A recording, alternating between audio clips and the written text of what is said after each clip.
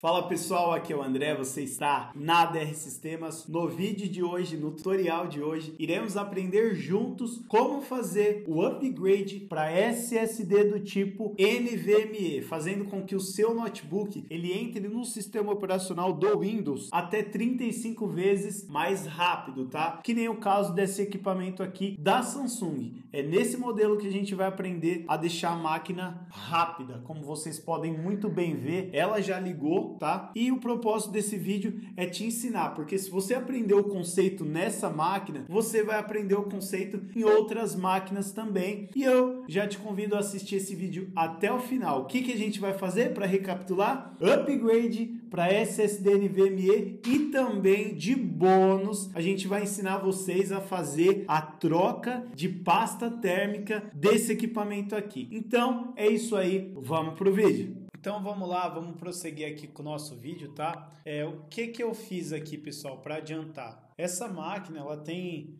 quatro borrachinhas aqui, né? Vou colocar, posicionar ela para vocês darem uma olhada. E cada borrachinha, quando você tira com a chave de fenda, ela tem um parafuso semelhante a esse aqui, tá?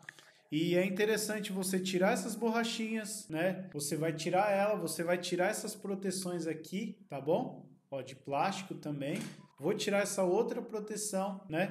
E o que, que eu usei para poder abrir esse, esse chassi de plástico, né? Digamos assim. Eu utilizei aqui uma espátula semelhante a essa de tocar guitarra e eu pressionei aqui assim, ó. E ele foi abrindo, ó, de maneira que não danificou e não riscou esse corpo de plástico aqui. Esse risco que está aqui a cliente já tinha feito, tá? Então vou tirar aqui a tampa, né? Como eu falei para vocês, o que, que a gente vai fazer nessa máquina? A troca de pasta térmica, né? E o upgrade para SSD do tipo NVMe. Então, primeiro de tudo, você tem que desconectar a bateria e isolar a bateria aqui atrás. Ó. É bem simples de fazer isso. Caso você queira colocar aqui é, um pouquinho de fita isolante, né? Ó, para a bateria ficar aqui, você pode colocar só para fazer o serviço, depois você tira a fita isolante. Uma vez que eu já tirei o nosso SSD NVMe, ele promete até 35 vezes que a máquina vai ficar mais rápida, tá? E aqui a gente tem um parafuso aqui, eu vou mostrar para vocês. Ó, esse parafuso aqui é um parafuso Phillips, tá? Que a gente vai tirar. E eu vou tirar esse cabo flex aqui do botão Power apenas para a gente poder ter mais espaço, tá? Então é muito simples de ser feito. Com essa espátula de plástico, eu vou colocar o flex para trás. Vou puxar aqui esse plástico, né, que é como se fosse o flex da placa mãe e vou deixar ele para o lado aqui. Pessoal, então vamos prosseguir. Eu já isolei aqui com a fita isolante, lógico, né? Para a gente poder fazer a instalação do SSD do tipo NV ME, tá? Esse daqui ele tem 250 GB da nossa cliente Thaís. Então, primeiro de tudo que eu vou fazer é tirar esse parafuso aqui. É um parafuso que já vem com o equipamento, tá? Ele já vem com a máquina. No caso, vou deixar ele aqui no nosso isopor, que é o nosso gabarito, e daqui a pouco eu vou pegar ele de novo. E o que, que eu vou fazer agora? A única coisa que você tem que se preocupar na hora de montar um SSD do tipo NVMe, que é essa conexão dourada, tá? Você vai fazer isso aqui, ó, nesse movimento. É como se estivesse segurando ele um pouquinho para cima e vai deitar ele até o final, tá? Então vou colocar ele aqui para vocês, ó. Coloquei, o que, que eu vou fazer agora? Vou deitar ele até o final. Uma vez que eu deitei ele até o final, eu vou pegar aqui o parafuso, peguei o parafuso, vou posicionar ele e vou começar a apertar o nosso SSD NVMe. Você não precisa apertar tanto, tá? A única coisa que você tem que ter cuidado é para não deixar ele para cima, né, saltado, digamos assim. Então tá aí instalado o SSD NVMe, lembrando que essa peça ela vem sem o sistema do Windows, tá? A gente tem que instalar o Windows do absoluto zero, tá? E o que que eu vou fazer depois? Iremos tirar agora o heat pipe e fazer a aplicação da pasta térmica. Aqui eu vou ter um parafuso, dois parafusos, três parafusos que ficam no cooler e eu vou ter aqui um parafuso que protege aqui o heat pipe e os outros que são do dissipador de calor, né? Então vamos começar por esse aqui. Espero que a câmera esteja pegando bem aí o foco para vocês, tá? Caso não, você pode tentar dar um zoom aí. Vou para o segundo parafuso aqui, né? Removi o segundo parafuso, agora eu vou remover o terceiro. É ideal que você deixe na posição correta que você tirou para que depois você não tenha nenhum tipo de é, não coloque nenhum parafuso errado, tá? É sempre bom você deixar e manter uma organização, um gabarito é, legal aí para você. Agora uma parte muito importante que você tem que parar o vídeo, pausar para você fazer direito. O que que acontece? Aqui a gente tem três parafusos no processador e quatro para e mais três parafusos aqui também no chip gráfico. Então eu tenho que tirar numa forma triângulo, tá? Então eu vou começar a tirar aqui é o primeiro, o segundo e o terceiro. Ó, vou começar aqui, ó, tirei a pressão desse parafuso. Agora eu vou para esse segundo aqui, tirei a pressão dele, vou para o terceiro, tirei a pressão dele. Agora sim, depois de ter tirado a pressão, eu eu consigo tirar todos de uma maneira bem fácil, tá? Vou deixar aqui do lado, deixar aqui do lado para a gente não perder a posição deles. Ó, é muito importante você tirar a pressão de cada parafuso primeiro antes de remover, para que você não venha danificar o processador do equipamento, tá? Ó, tirei aqui o terceiro parafuso, excelente. Agora eu vou tirar aqui os do chip gráfico, tá? Mesma coisa, ó. Tira a pressão desse, venho para esse outro aqui, ó. Tira a pressão dele também, ó. Bem simples. Venho pro último aqui, ó. Tira a pressão dele. Agora eu posso começar a tirar todos os parafusos de uma forma conjunta, tá? Sequencial, digamos assim. Tiro aqui. Agora vamos lá para esse, tá? Tirei aqui também. Agora a gente vai pro último parafuso, tá? Ó, tirei esse parafuso também. Eles ficam com a pontinha vermelha porque a gente nunca tirou.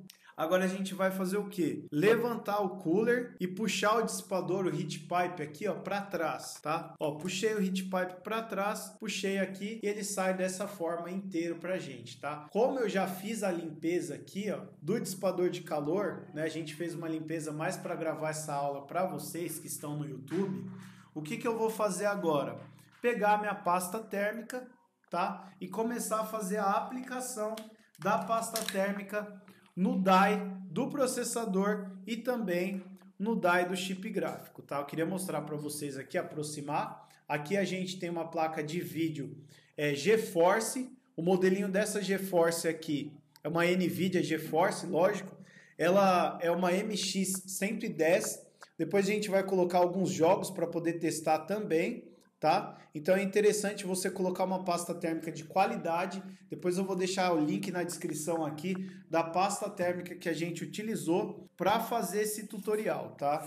Então, agora a gente vai começar a aplicar a nossa pasta térmica. Então, vamos lá. Vou tentar dar um zoom aqui para vocês darem uma olhada, mas pouca coisa. Ó, a gente vai fazer o quê? Aplicar aqui a pasta térmica, né? Eu vou tirar aqui o, o protetor dela, né? Ó, Vou aplicar aqui. Eu não preciso tirar o cooler aqui do lado esquerdo, porque eu não vou limpar ele, ele já está limpo, né? Ó, coloquei, ó, apenas o suficiente, tá?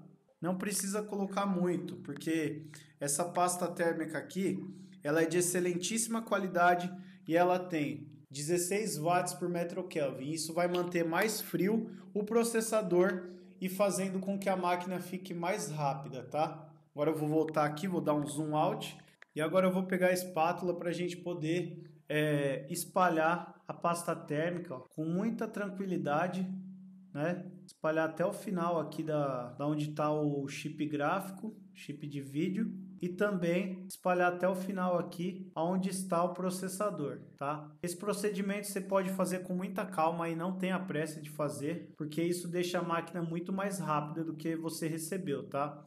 E o ideal é o usuário fazer isso no mínimo uma vez por ano, tá? Pessoal, então tá aí, já aplicamos a pasta, agora eu vou tirar o excesso aqui que está na espátula de plástico para guardar ela. E o que, que a gente vai fazer? É devolver todo o heat pipe para o equipamento, tá? Ó, o heat pipe tá aqui, a gente passou um pouco de pasta térmica aqui também, mas do mais, aqui já tá bem, ó, bem distribuído nessa região do die do processador. Não se preocupe tanto com a estética, tá? Depois você pode passar. Normalmente a gente passa um algodão aqui, né? Aquele cotonete, para deixar um pouco mais bonitinho na estética, digamos assim. Agora o que, que eu vou fazer? Vou devolver todo o heat pipe para ele, tá? Eu preciso levantar aqui o, ó, preciso levantar aqui o cooler, tá? E aí eu vou devolver o heat pipe ali, ó. Devolvi o heat pipe, vou devolver agora aqui o, o nosso cooler. Vou apertar os parafusos do cooler primeiro, tá? Antes de apertar aqui o nosso heat pipe, ó, vamos lá, ó. Agora eu vou colocar o nosso flex aqui da Motherbird. Coloquei até o final, você pode ver que tem um delimitador ali, ó, preto. Vou dar um zoom para vocês darem uma olhada. Esse delimitador preto, ele tem que ficar dessa forma, tá? E aí você desce a travinha aqui, não precisa apertar tanto. E agora a gente vai montar, né, apertar os parafusos que tem no processador. Que, que eu vou fazer primeiro?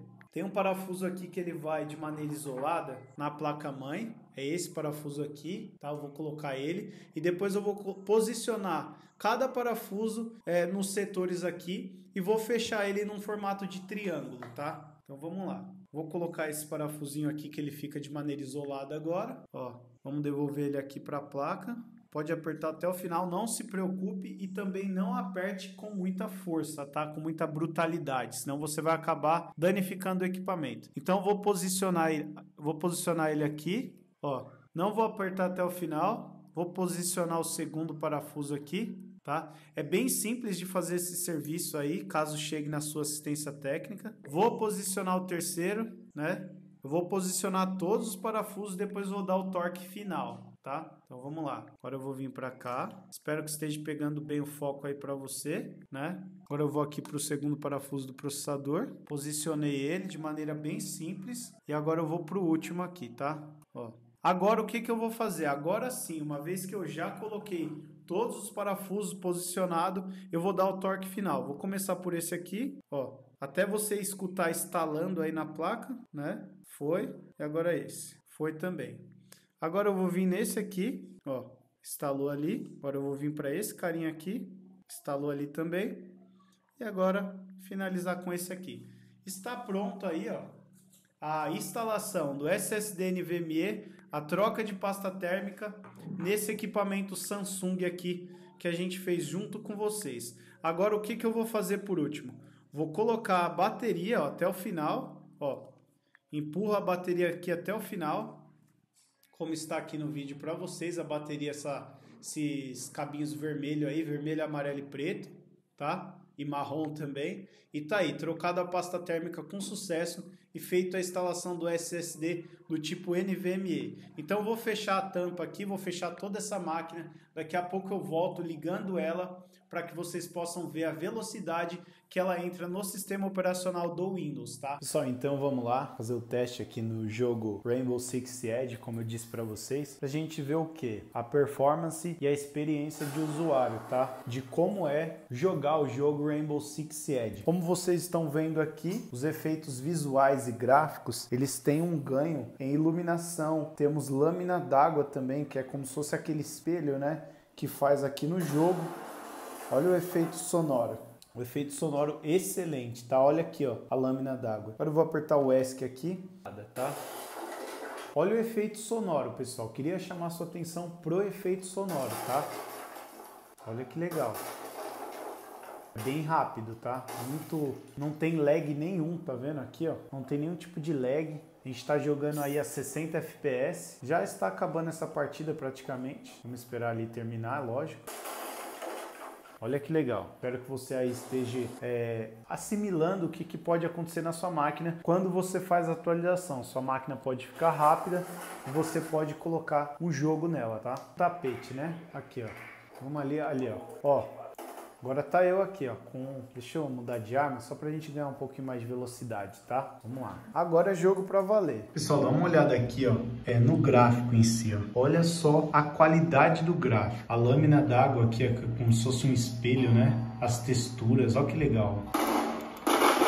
Ó, que top. Então a gente fez esse teste aqui do Rainbow Six Siege mas para que você pudesse ver que esse equipamento aqui, ó, o NP300 com placa de vídeo aguenta um jogo potente que nem Rainbow Six Siege, tá? Então, você quer ter um equipamento assim? Vem para a DR Sistemas que a gente vai fazer o upgrade para SSD do tipo NVMe, NVMe e deixar sua máquina rápida. Então é isso aí, pessoal. Agradeço você que conseguiu fazer esse vídeo até o final, tá? Recapitulando, o que, que a gente aprendeu aqui nessa máquina Samsung? A fazer a substituição da pasta térmica e o upgrade do SSD, tá? No caso, nós utilizamos esse SSD aqui do tipo NVMe, deixando a máquina até 35 vezes mais rápido, tá? Então, se você tem um equipamento Samsung e quer fazer o serviço aqui na DR Sistemas, já te falo. Olha aqui na descrição, tem todo o link do nosso contato, WhatsApp, Instagram. Temos um grupo de mentoria também gratuito. Se você quiser fa fazer parte, já te convido a fazer parte, tá? Então, é isso aí. Caso esse vídeo tenha te ajudado ainda mais e você sentiu no seu coração,